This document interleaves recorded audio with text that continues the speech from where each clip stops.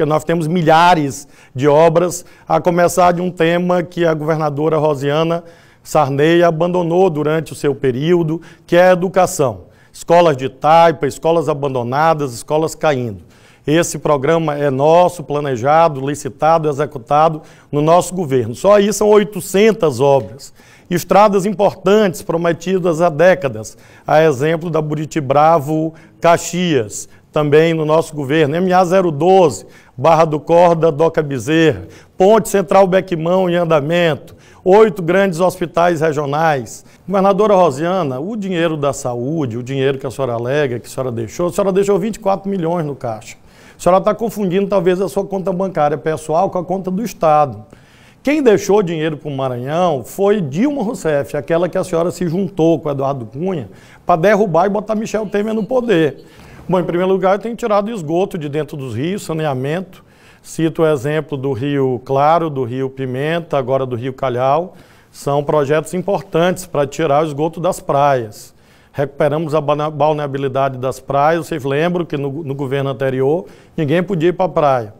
Então nós estamos indo, graças a Deus, eu mesmo vou à praia, eu não tenho ilha privada, eu vou à praia normalmente. Nós temos uh, projetos extraordinários na área da saúde, a exemplo do Sorrir, saúde odontológica gratuita milhares de atendimentos, mais de 15 mil atendimentos. Fizemos o Hospital de Ortopedia e Traumatologia, Força Estadual de Saúde atendendo as pessoas nos municípios, mais de 800 mil atendimentos domiciliares. Em relação aos servidores públicos, é, nós temos dado muitos aumentos, tanto é que os professores têm, tanto de 40 como de 20 horas, uma remuneração que é a melhor do Brasil, declarada pelos sindicatos. Os policiais, a mesma coisa. Demos muitos aumentos para esses segmentos e outros tantos órgãos. Fizemos reajuste eh, geral é, no começo do governo de 2015, todas as categorias tiveram reajuste. E eu espero que a situação do país melhore. Como eu te disse, nós não atrasamos nenhum mês de salário.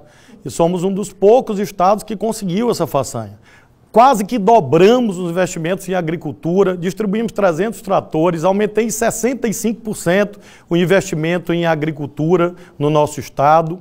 E o desenvolvimento vem da conjugação de investimentos públicos e investimentos privados. Parque eólico da Ômega, investimento privado no nosso governo.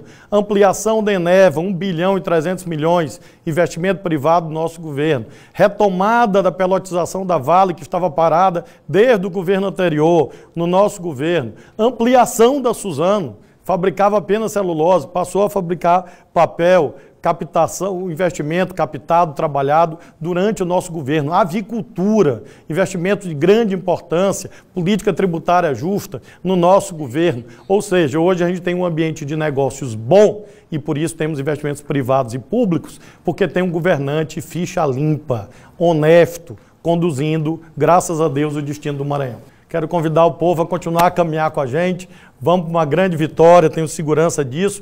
Não só de Flávio Dino 65 no primeiro turno, a nossa vitória, mas também dos nossos senadores, o Everton 23, Elisiane 232. Nós estamos corrigindo erros de décadas, décadas. Perfeito, só Deus. Eu não vou conseguir, claro, corrigir uma herança tão difícil quanto essa num governo só. Mas você sabe, e o site G1 disse, que o nosso governo é aquele que no Brasil mais cumpriu propostas, mais cumpriu compromissos. E é por isso que eu assumo novos compromissos com o senhor, com a senhora e com a sua família. Escola digna vai continuar. Escola digna é importante. Mais de 800 escolas beneficiadas. Vamos chegar a 100, 100 EMAs, 150 escolas de tempo integral. Vamos continuar a ampliar a segurança, mais policiais. Tiramos São Luís da vexatória lista das 50 cidades mais violentas do mundo, patrimônio do nosso governo, e acabamos com aquelas confusões em pedrinhas. Nós vamos fazer, continuar o mais asfalto, policlínicas regionais, ampliar os restaurantes populares, fazer um governo ético, decente, de mãos limpas, um governo ficha limpa. Conto com todos vocês. Muito obrigado.